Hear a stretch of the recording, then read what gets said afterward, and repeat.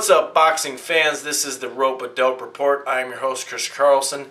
You're going to see this shirt a lot, okay? It's LeBron and Garnett mixed together from a couple years ago. Get used to this shirt. I'm doing a bunch of videos today, okay?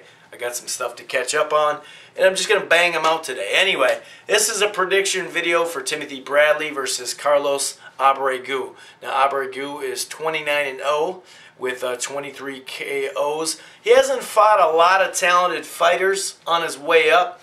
Um, he's shown that he has power, that's for sure. Um, with the 23 KOs, you know he can punch.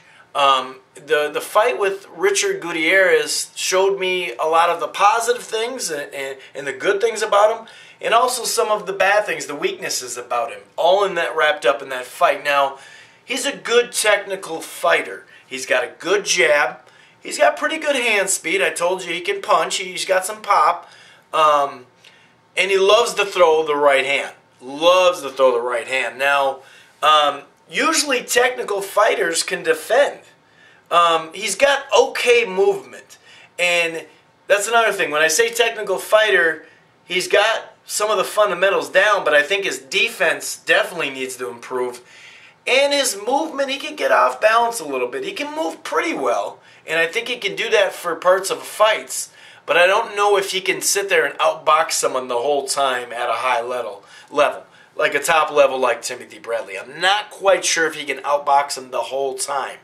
Um, either his positioning, foot positioning, uh, he gets a little off balance, or he just likes the brawl too, um, which comes into my the bad part, the weaknesses of him. Um, his chin. His chin has been a little suspect. He's gotten knocked down several times. Um, but he's gotten up and knocked those guys out, you know, so that's something to look forward to, of course. But uh, he's open to left, a left hand, a left hook all day long. I mean, you know, it, it's open. It's definitely open. Obviously, Timothy Bradley's coming off a big win over Lamont Peterson. God, it feels like a while since he's fought now. What was that, November or December? I think it was December. Um, yeah, December. So Bradley showed a different layer to his game. He peeled off another layer to his game, um, and he boxed. He actually boxed in that fight. Um, he started out very well. The fight was pretty much on the inside, and Lamont was coming forward, which I thought was a mistake. Um, and he dropped him with a big right hand. He was landing right hands all day long in that fight. And then I think in the fourth and fifth round, they started banging out just on the inside.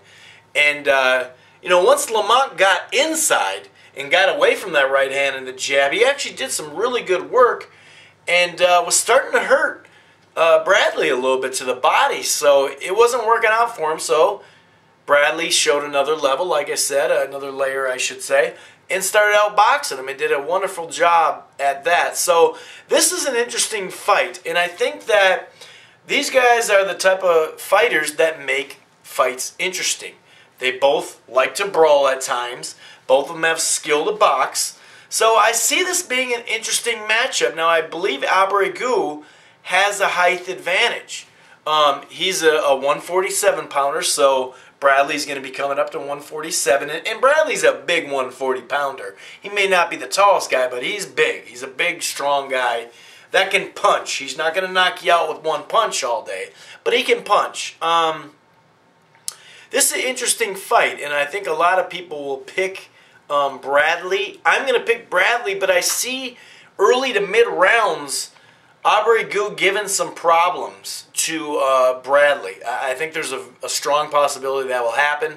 Um, I think just his style, his jab, and his movement, and his right hand, and and I just think he's gonna, you know, the size, whatever the case may be. I think he's gonna give him some problems because, like I said, he is a good technical fighter, and no matter what, if Bradley comes at you, at times he gets wide with his shots and loose with his shots. Now we've seen him improve. We've seen him jab more. We've seen some more out of his game, so it looks like he's improved. But we'll see. We'll see what kind of fight he wants to fight here. Um, but I'm going to go with the decision, and I'm going to go, and I wouldn't doubt if Abregu goes down. I wouldn't doubt if both of them go down in this fight because Kendall Holt showed that he, you know, his power knocked uh, Bradley down twice. but I am going to go with Bradley. I think he'll find a way to win. Um, If it's on the inside, I see that as an advantage. Um, I see him being a little more patient, but I do see him being the aggressor in this fight. But early to mid rounds, I see that there's there might be some some kind of figuring each other out and making adjustments type thing. But I'm gonna go with Timothy Bradley um, with a decision. Anyway, this has been the Rope a Dope Report. I'm your host, Chris Carlson. Chris Carlson, I just said that. I'm your host, Chris Carlson. My own name I can't say right. Um, make sure you check out uh, Rope a Dope Radio. Peace.